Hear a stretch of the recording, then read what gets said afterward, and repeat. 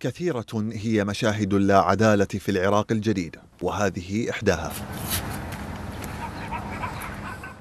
بعد سنوات من التهجير من منزلهم بسبب الحرب وجدت هذه العائلة من سكان قضاء القرمة نفسها في العراء بلا مغيث حيث اضطر رب الأسرة لبيع ما يمكن بيعه ليحصل على خيمة تؤويه وعائلته في أطراف مدينة الفلوجة رغم افتقار الخيمة لأبسط مقومات العيش الآدمي. من بعد ما تهجرنا ورجعنا قعدت بالفلوجة هنا قاعد إيجار. فأشتغل عماشي قديم فوقعت من السكلة إصابة عندي هاي بكتفي وعندي أخويا وأخوتي هم مصابين. وقاعد إيجار. بعدين ما قمت أقدر بعد على شغله الإيجار.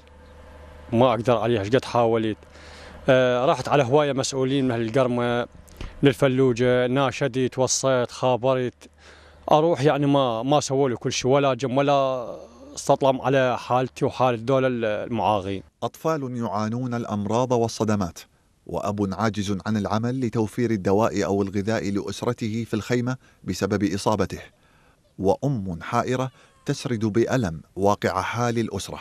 ويجراني قاعد وما عنده حد وهذا ابن هذا الشبل هذا معوق. وما عندنا حد. ويومي الباب ما يندق والله مطلوبين بس ثمانين أكثر. مطلوبين. وما عندنا حد. وهذا عنده انحراف بعيونه. وهاي شوف أربع حالات بي. هذا لا يسمع ولا يسولف وجسمه ربط وهاي تنشمر. وهي واقفة مرات هي وعصرية قاعدة. وهاي البنية هاي عمرها أكثر من أكبر من هذا أبو ألفين. همزاتها تشوف لا تشوف ولا تسمع ولا يعني يعني حيل حيل حالتنا يعني يعني حيل تعبانة.